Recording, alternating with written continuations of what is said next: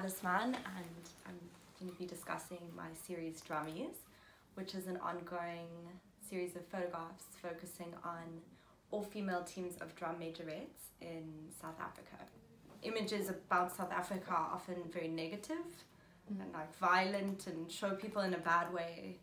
So I'm trying, I think, to show other things um, you know, the, the context is always there, but I think it's good to be able to challenge these stereotypes that we see so often because that's not always how it is. Sort of looking out for, for situations and, um, you know, my work is very focused on community and, and sort of the way that um, community affirms individual and collective identity and I look for situations where people feel empowered and um, the way that involvement in the sport really um, elevates and empowers the young women and girls involved and is often really a vehicle through which they can kind of excel and achieve things and um, sort of the way that the sort of being involved and being part of a team really improves their confidence and kind of how you can visually see that.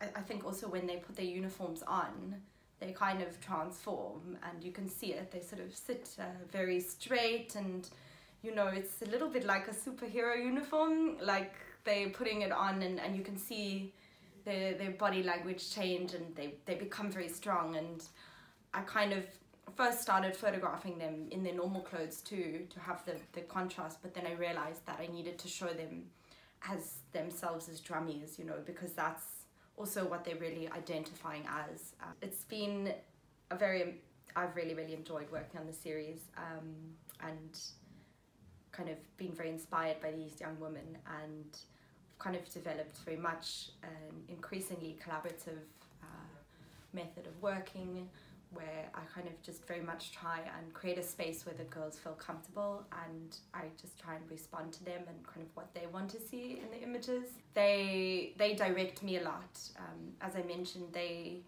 you know, they might choose where they want to be or choose who they want to be with or, you know, um, and I kind of respond to that. So they're actually telling me what to do a lot of the mm-hmm. time. Uh, we sort of make it up together, which is really fun because I, I love working to make images that people want to see.